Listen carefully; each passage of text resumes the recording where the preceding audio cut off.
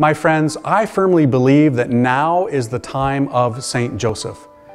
The year 2020 celebrates the 150th anniversary of when Blessed Pope Pius IX declared St. Joseph the patron of the Universal Church.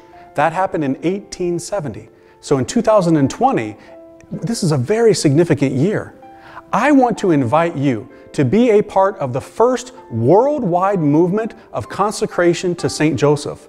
Something like this has never been done in the 2,000 years of Christianity. Now is the time of St. Joseph. Get this book. Do the 33 days. Give your entire life into the hands of your spiritual father and watch what happens in your life. You will be blessed, my friends. Go to consecrationtostjoseph.org and be a part of this wonderful movement. God bless you.